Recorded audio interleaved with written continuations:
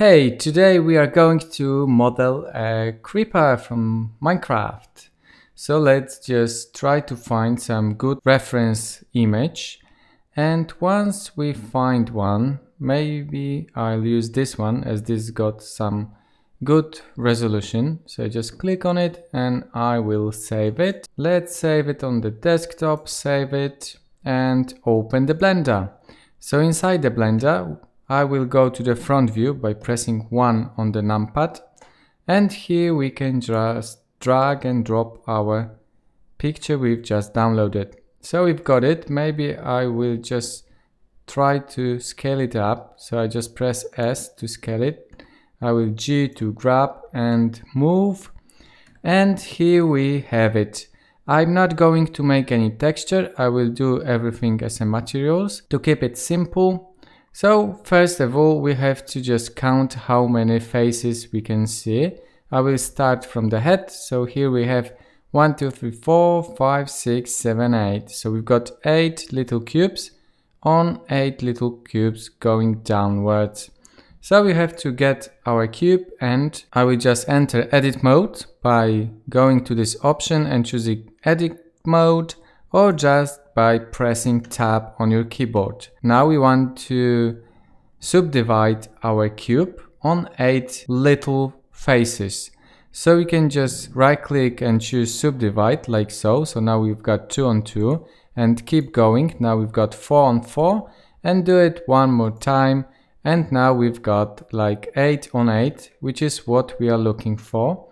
So maybe let's just do uh, some materials straight away. So I just enter the edit mode. I will choose this selection so that we can face select.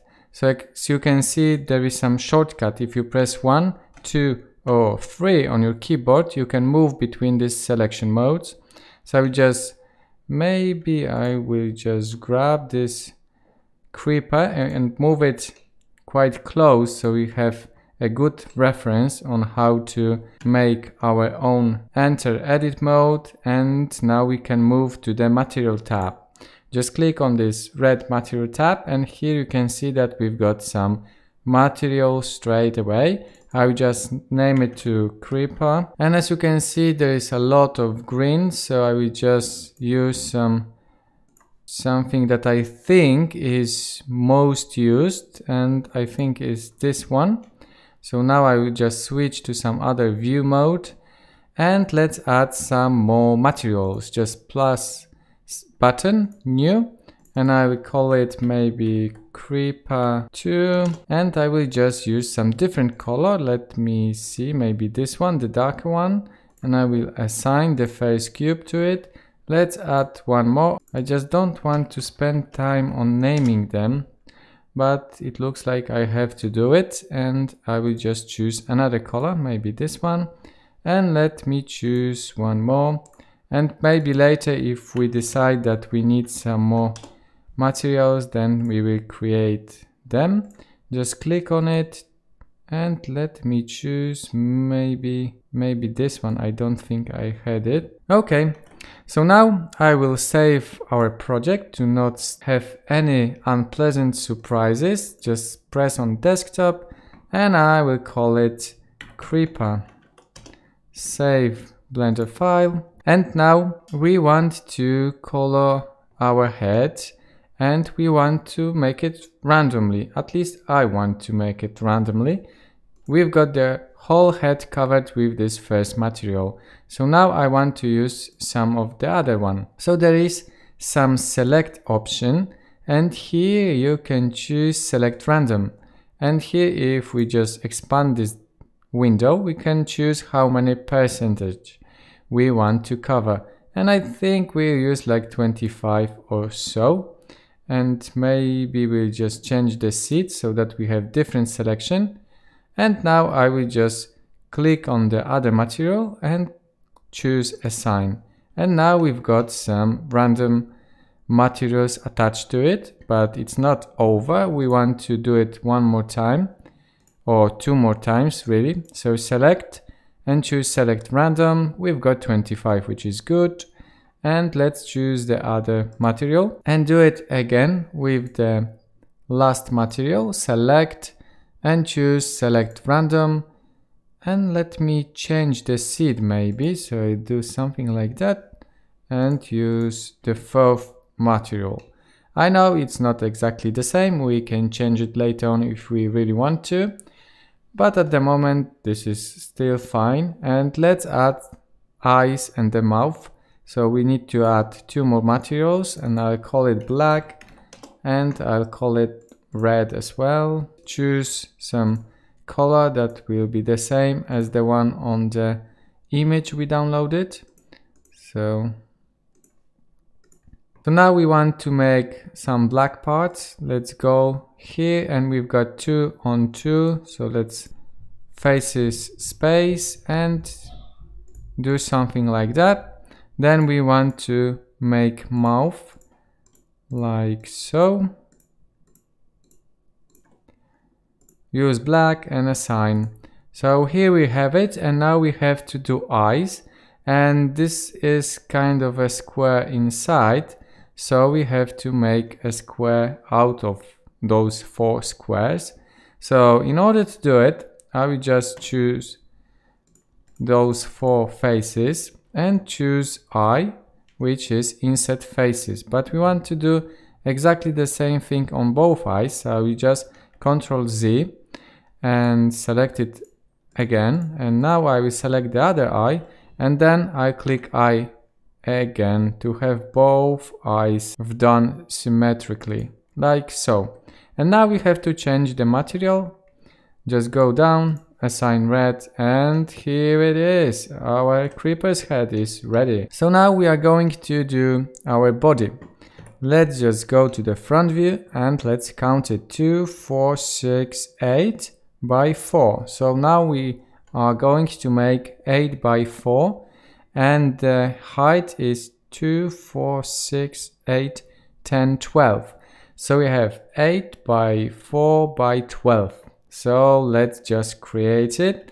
So because our head is 8 now and we have to make a 12 to go down, so I will just create a new cube which is the same as the head one and to keep it the same size we have to scale it up by 1.5 so because the body is 1.5 as tall as the head. So in order to do it I just scale on Z. So I press S now Z and now we just type 1.5 I will move it down by G and Z, and now we have to scale it on the y-axis and we have to make it half of it. So I will just scale y and now I will press 0.5. And now our body is a good dimension.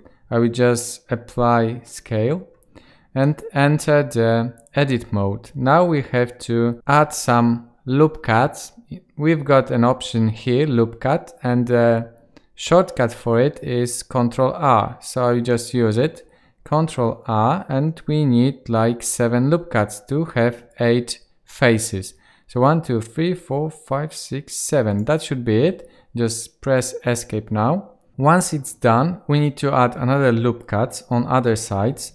We need 3 loop cuts on the side. So just one click and then escape to make it in the center and now we need another loop cuts. In here and we need 15 of them. So I will just click wherever they are and I will just escape it. And here I will just press 11 as we need 11 loop cuts.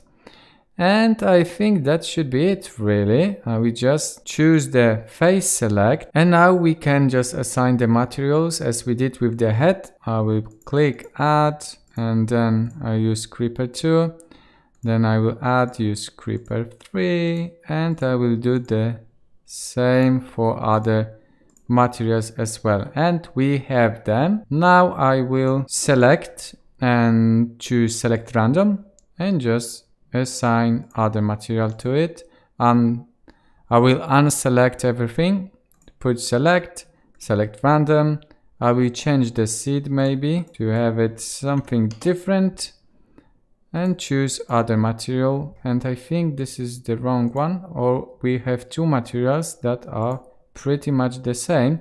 So I will change the fourth material to some different value. Choose something from our reference image. Okay that should be fine. I will just select it once again select random and assign.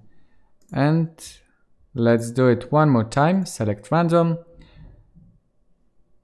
I will change the seed and choose the last material. And this is how it's looking for now.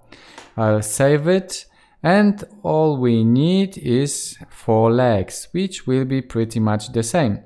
So let's create them out of the body so we don't have to play with those materials once again. So we just duplicate it by shift D and leave them where they are I will just grab them and choose Z so that we slide them down on the Z axis. And here as you can see it's 2, 4, 6 by 4 and by 4 I believe. So we have to cut it in the middle and then cut it in the middle as well on the other axis. So let's go to the front and now I will choose this x-ray mode and face selection and now I will just press B so that we can get rid of the left part and choose delete faces. And now we want to get rid of the top or the bottom. It's up to you really. So I will go to the side and press B one more time and we need six faces to be left like so. Okay, this is pretty much done and I will choose edge selection now. I will get out of the x-ray mode, try select edges and I will choose bridge edge loops like so. I will select those edges and we'll try to do the same thing. Now I right click and choose bridge edge loops and now we have sides ready and now I will use Ctrl R and do three loop cuts which should be pretty much same as the other ones. And now if you press on it you can see that there is no connection. So in order to make a connection we have to just to select everything. So I pressed A. Now go to vertex and merge vertices uh, by distance. So that should work, we can increase it a little bit to be sure that everything is connected. Let me go back here and click again. And now, as you can see, all the vertices should have been connected and I believe they are. But now we have to do some random material assignments. So let's go back into the edit mode, press 3 to have face selection and go to select, select random and let's add some different materials to it. Select a random, choose some other one and I think we might leave it as it is for now. And as you can see, we've got some darker materials on the bottom. We've got the black one already. We can add it and choose the black, but there is some dark green as well. So I think I will add it, call it dark green and let's choose it from the reference image and I will do it manually. So I'll go to the front view and choose every other one like so and like so, use the black and now let's choose other four and choose dark green. And here we have it. So now we have to add three more legs. I will just duplicate it. So shift D and we want to move it on the X. So let's move it on the X. I can press Ctrl so it snaps nicely to the grid. So we just go to the side view by pressing 3 on the numpad and now I just press G to grab and with the control I will try to snap them. But if they don't want to snap nicely, it means that something is not placed correctly. So I will just click on the body and as you can see, it goes above the head, which is not good. So I will just grab it and choose control, which is not great as well. So we might just go into the object mode and there was a function to snap selection to grid like so. And now if we grab it again and choose control, it should snap nicely to the place. Now let's just grab two legs, go to the side view and the G with control and it should snap nicely. If it doesn't, then do the same thing. So right click on it, snap selection to grid. If it still doesn't work, just go down, do the same thing when you are zoomed out because it makes a difference. So right snap to the grid and now as you can see it was snapped. So let's G, control and it's up to you if you want to have it on the edge, just leave it as it is. Let's rotate it and I think we will leave it as it is. So now to move it to the back, we need to duplicate them first. So Shift D, here we've got it. I will just press escape to leave them where they are. 3 on the numpad to go to the side view. And now I will press G and control to move them to the right and they are in the good position. Now we want to rotate them so that these dark colors are facing the back of the creeper or we might scale them. So let's try scaling them. So I just press scale Y and press minus 1. So now if we rotate it, you can see that this is really what we wanted to achieve. I will save our image and at the end we might just rotate it a bit. So in order to rotate it along this axis, change its pivot point because at the moment when we try to rotate it, it rotates in the middle and we don't want it. So let's just press edge selection and choose those two edges, for example. And now just shift S and let's choose cursor to selected. And once we've got, ah, okay, because some other faces were selected as well. We don't want that. We want only this vertex really to be selected. And now we can press shift S, cursor to selected and we can choose object set origin to 3D cursor. And now if we rotate it, it rotates along this axis, which is something we want. We might do this with other ones as well. Mm, so just click on it and choose the vertex in the middle. Shift S, cursor to selected, object set origin to 3D cursor. And now we can rotate it as well. Maybe it would be quicker and easier just to duplicate those legs once again with the one that is already prepared, but this is a good practice if you didn't know how to do it before. And once you comfortable with using it, it doesn't take that much time really to do it. And as you can see, we already have done it. I will save it and the good practice is either to make some empty object to hold our creeper or just join it all together into one object. But I think I will create some empty to, to hold our creeper. So I just shift A and choose empty plain axis. I will just scale it up a little bit and move it up. So we've got it. Maybe I'll put it in the middle so just shift S and choose selection to what origin. Uh, selection to, to cursor and now I will move it up a little bit so it's above the creeper and now I will just get all of those objects and we'll just select the empty as the last one and we'll use Ctrl P object and now if we just grab the empty, we have our creeper selected and we can move it freely. I will just change the name of it to the creeper and just rotate the legs. So just keep R, I will press R and then X. So we want to rotate it along the X axis.